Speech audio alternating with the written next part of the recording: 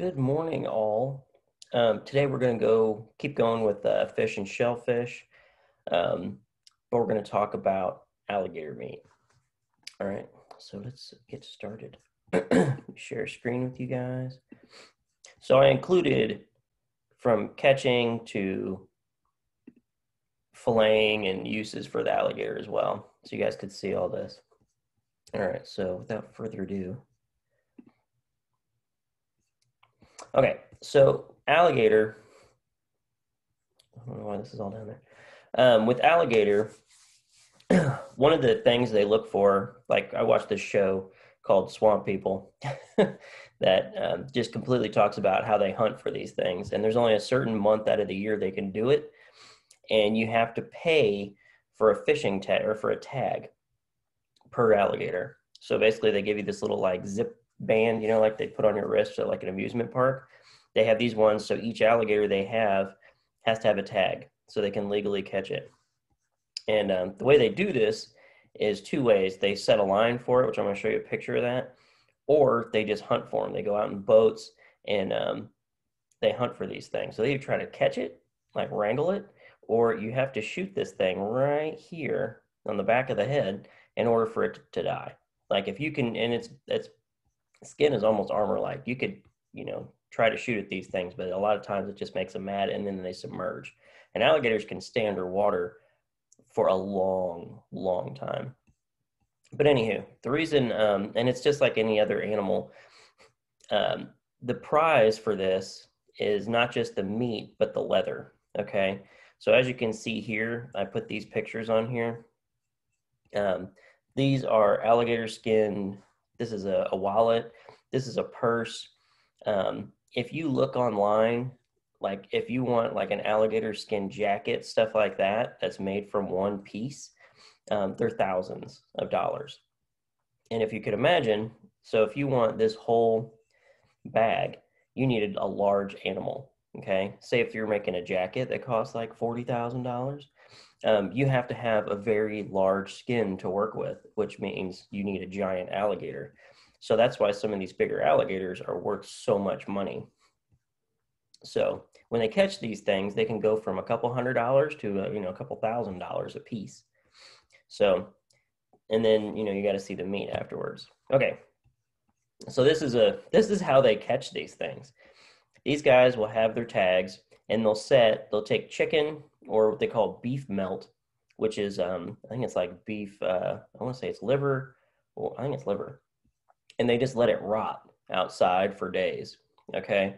Then they take this stank chicken and go around and they have this really heavy duty hook, heavy duty line, and they put these poles up like this, or they hang it from a tree branch that's hanging above um, the water. And then they just dangle this thing about a foot off the water. And the alligator has a really good sense of smell. So it smells rotting flesh.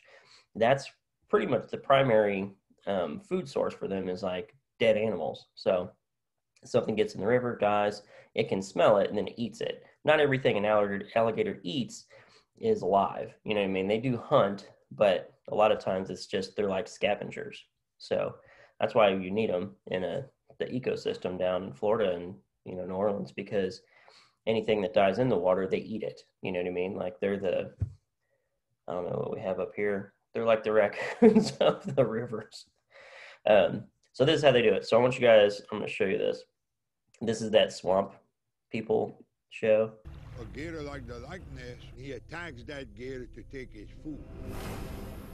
The next morning, Troy reinforced his hunting team, bringing his regular deckhand Clint and Jacob back to the scene of the crime.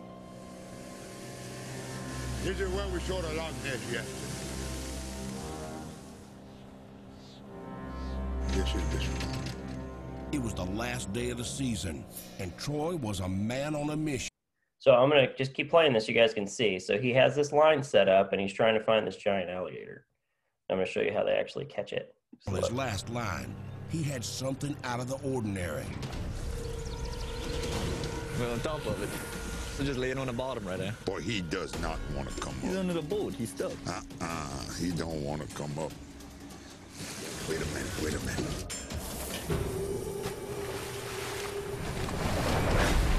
The Loch Ness. The 850 pound monster was finally hooked, and it was going to be a fight to the finish. It was unbelievable how strong this gator was. He was trying to pull me in the body is what he was trying to do. Hey, we need help over here. I was definitely holding on for my life right there with that big thing. Shoot him again. Clint couldn't get a clean shot, and the Loch Ness monster went into a death roll. You just don't know what an animal like that's capable of doing. Finally, the beast revealed itself, and Clint took aim.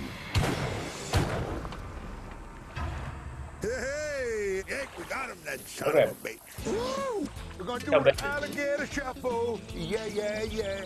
It's the alligator shuffle. Yeah, yeah, yeah. Yeah, yeah, yeah.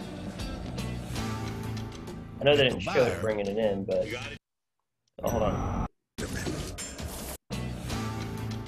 Wait till you see how big this thing is. You got it, Jake? See.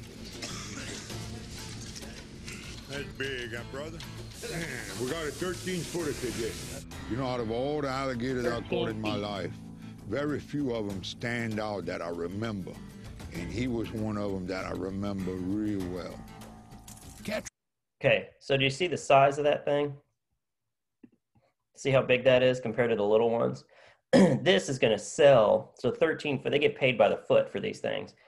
This is going to sell for a lot of money because um, they get, you know, the, the skin alone is going to be worth a lot. So just get to be an idea. But do you see how they have to catch these things? That he shot that thing five times with a rifle, five times, and it's still it took the fifth one to actually put it down. So you see how that's the reason they're so expensive is because how dangerous it is. Like when these guys go out, um, sorry, I love the show, but sometimes these go these guys go out and they catch forty or fifty alligators in, in one day. So it's a very uh, a very hard job. All right. So as far as like once you have this giant animal, um, to pre- preserve the skin so they can sell it, um, and we're gonna get to how they you know fillet it and cook it too. But you know I want you guys to understand like a lot of processes that go into this. Um, it's a really neat technique. They actually like blow this thing up with air because they want to make sure the skin is pristine and intact, so they get more money for it.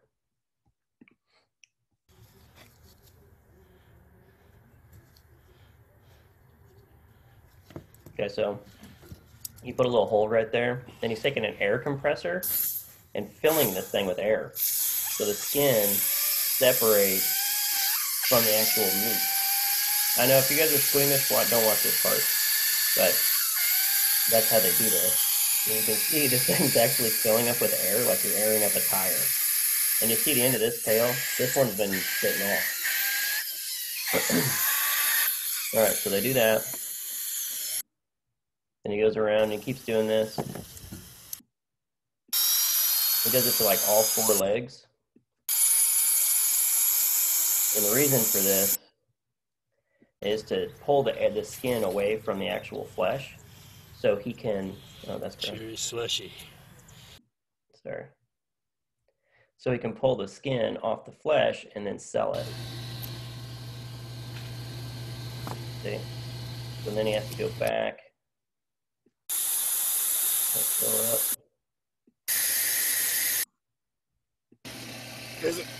All right, now see, Oh, let's see when you uh, when he goes to skin this thing, he just goes right down, and all the meat, you know, it's it's easier to get to because a lot of times that skin will be completely wrapped around and very tight, and you're more likely to ruin it.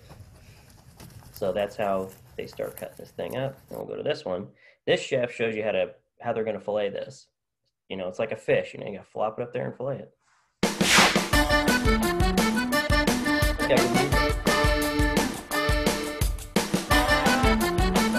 Get yourself an alligator. Take the head off.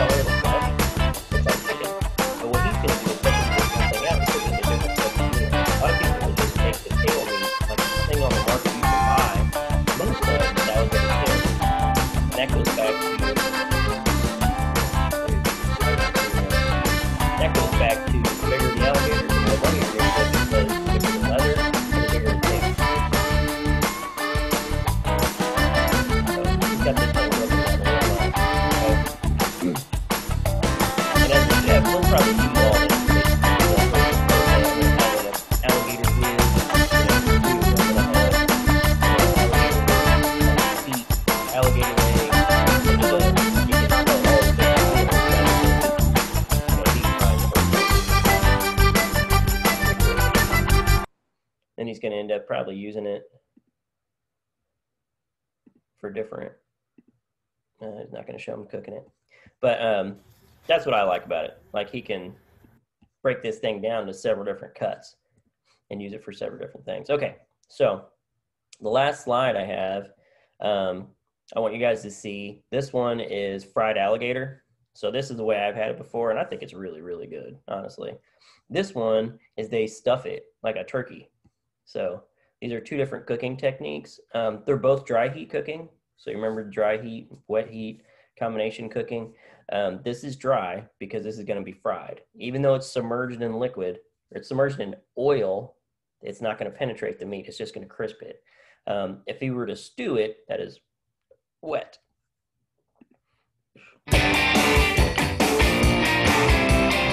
Traditional Southern style, it's big doors and a small sign to represent Bo's Kitchen and Bar Room. Alex Prani is going to teach us how to make the ultimate gator bites.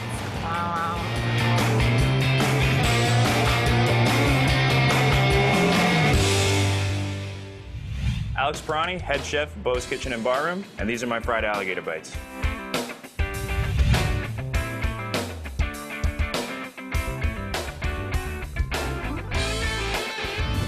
So here we have some red bell pepper diced into small pieces. We also have some alligator tail meat, which we've cut into about the same size, trailed any excess fat off or anything like that.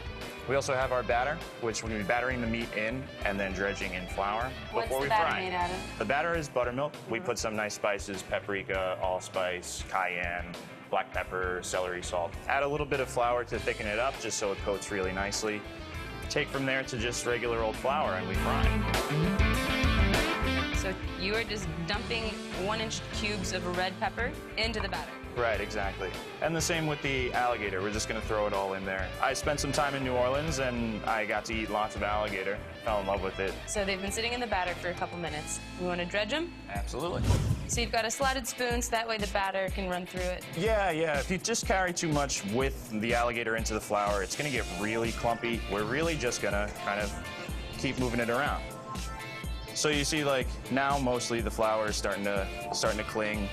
The batter is starting to dry up, and you've got some really nice coated alligator. Yeah. You can just do that really quickly, Oh, yeah, of course. and you kind of really get to see what you're gonna be throwing into the fryer there. That makes so Yeah. much sense. So we're just gonna drop them right into the basket, kind of shake them around a little bit so they're, if anything clumped up. It's a gator bubble bath. We've got it down to when we see the right color, we know we're in the right place. I think that gator bath is about done. Yeah, we are just about there. Perfect. So we are fried and we are almost to the bowl and ready to eat. All we really need to add, add a little bit of salt now in the bowl. Okay. Toss that around. And here we have three different herbs that I think are really, really nice to work with, especially with this dish. We have some just chopped up really finely lemon thyme, mm. a little bit of chive, and a little bit of chervil. And then we're gonna do the same thing, just mix it around. The best part of fried food is always the dipping sauce. Absolutely. It's my favorite thing to look. I look forward to the dip sauce like I do the fried food. So what are we gonna make? Okay, so what we typically like to serve this with is, we call it our chili aioli. All we really do is just take a little bit of shallot and some chilies, blend it up to make a nice paste, and we're gonna mix that into our aioli. And aioli is just a fancy word for fresh mayonnaise with garlic. Exactly. So we're just gonna go straight in. Yeah. And we're just gonna whisk it together. And, uh, Wait, that's it? that's it. Man, I was getting ready for like six more steps. This is tailgate perfect. Yeah, we keep it we, we keep it nice and easy. Yes. If you want to find out how to make the perfect tailgate gate, easy. All right. Chef Alex, thank you so much. You see how easy that is? Um, the key with what he did, so when you have, he did that buttermilk mixture. Buttermilk is literally, there's no butter in it. It's not butter like melted and put into milk. It's usually a heavy cream, half and half, some heavy duty milk.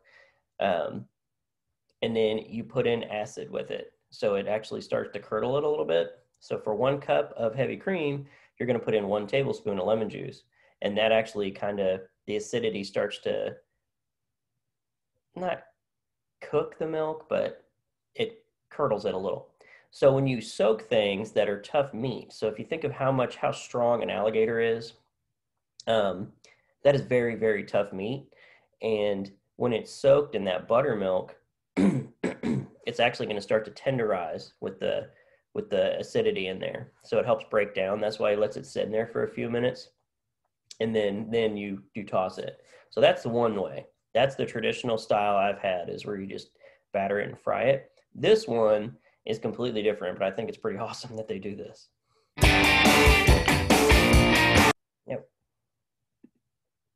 Go to our website and get the exact ingredients for this. right. So First is we're gonna make ourselves a rub. so they got the alligator. These guys are way out in the country. Welcome to barbecuepitboys.com. Today we're cooking up an alligator on the grill, and it's real easy to do. All right, what we have here is a uh, skinned and clean five foot gator, and uh, this here is the uh, perfect size for tailgating, or for restaurants, or your own See what he's got going. So he mixes oregano, this basil. rub, okay, which is just all these All right. dried spices. Here we've got some red snapper, fresh caught. We're going to be throwing this on the grill too. And uh, we're going to be cutting up some onions, a trinity. We'll be using some carrots, and celery. So a rub is like you take all the spices you like, correct, and you mix them up together. Um, and then here is where he's making the stuffing. So that's the andouille sausage. You just saw him cutting up. And then the Holy Trinity is what we call mirepoix, celery, onion, carrot. Holy Trinity in Louisiana is um, celery, onion, and peppers, I believe. Um, so they take out the carrot. But this one looks like it had carrots in there too, but I think they just they add some stuff to it. So what they're gonna do is they're gonna make this stuffing. Skip ahead. And then they're just gonna stuff this entire alligator like he's doing here. They took out the insides and they're gonna stuff the whole interior of this alligator and then sew it shut. Like you can buy butcher's twine that you can actually cook with and he's going to sew this whole thing shut. Well, I think we're going to hit a commercial here in a second. Let's go here. All right, so once he's got it sewn shut, he takes that rub of all those herbs and spices that he liked. That's called a dry rub. Um, and you just literally, it's called a rub because you rub it all over the animal. And then you let this thing sit for, for a little bit, you know, so it actually starts to, what that happens is the salt pulls the moisture from the meat that you're rubbing and it mixes with it kind of opens up the pores of the meat um, and then it mixes with all those herbs and spices and then starts to resettle back inside the meat. So it actually penetrates. A lot of people think if you put rub right on top of something and slap it on the grill it's going to get a really good flavor but it's not. You need to let that let it absorb it for a minute. So then they take this entire gator wrap it in foil and then roast it Okay, and then he's gonna make some other things in here too, but I'm gonna skip to the gator part. I think he makes some stew with it. Um, so towards the end, let's go here. They take this thing, open it up. Um, what this is, which is a traditional style for cooking and roasting, is this is probably some acid type spray.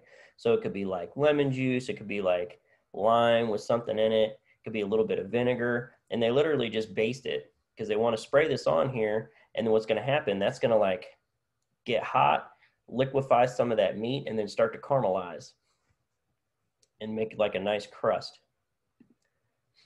All right, there you go.